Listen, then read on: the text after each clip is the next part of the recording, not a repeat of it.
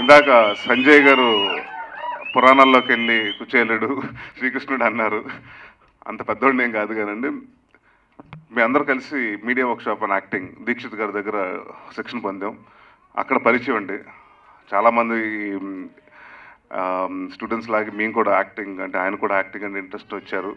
దాని తర్వాత acting course complete చేసుకున్న తర్వాత ఆయన ఆయనకంటూ వర్క్ ఉంది. సో మళ్ళీ వాళ్ళు ఆయన బ్యాక్ వెళ్ళిపోయారు. అండ్ మేము ఇలాగ వచ్చాం.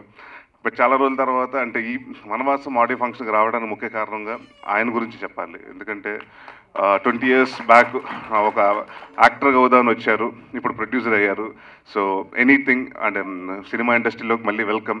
ఏ ఏ ఫామ్ అయితేనంటే ఆయన ఎంచుకున్నది యాక్టింగ్ బట్ వచ్చింది ఇప్పుడు ప్రొడ్యూసర్ అండ్ ఇంకొక విషయం ఏంటంటారంటే నాకు బాగా మూవ్ అయింది ఏంటంటే ఇందాక నేను అంటే ఆయన శ్రీకృష్ణుడు కుచేలుడు అన్నారు కాబట్టి ఆ కాంటెక్స్ట్కి వస్తాను. ఇది ఆయన ఫ్రెండ్ డ్రీమ్ ప్రాజెక్ట్ అండి. ఈ సినిమా చేస్తున్నప్పుడు అనుకోకుండా వచ్చిన యాక్సిడెంట్తో ఆయన కాలం చెందారు. సో అక్కడి నుంచి ఈయన టేక్ ఓవర్ చేసి ఆయన ఆ ఫ్రెండ్కి అయితే ఏదైతే ఇంట్రెస్ట్ ఉందో ఆ ఆఖరి కోరిక తీర్చాలని ఈయన స్టార్ట్ చేశారు.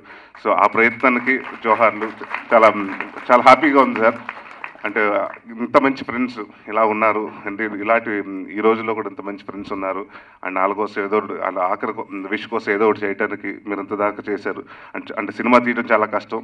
అండ్ ఆయన చెప్పింది ఏంటంటే మొత్తం అంతా కర్నూలు చుట్టుపక్కల తీశారని సో ఆ విష్ నవీన్ రాజు గారు కానివ్వండి శశికాంత్ గారు కానివ్వండి శృతి శ్రావ్య గారికి అలాగే ఇద్దరు డైరెక్టర్లు భరత్ గారికి నరేంద్ర గారికి అండ్ ఈరోజు మోహన్ గారు ఆయనది యాక్చువల్లీ మ్యూజిక్ డైరెక్టర్ అంటే ఆడియో లాంచ్ అంటే వాళ్ళదే. సో మోహన్ గారికి ఆల్ ద వెరీ బెస్ట్ ఈ సినిమా పెద్ద హిట్ అయ్యి సంజయ్ గారికి మంచి పేరు. అలాగే డబ్బులు తీసుకురావాలని కోరుకుంటూ సెలవు తీసుకున్నాను. Thank you very much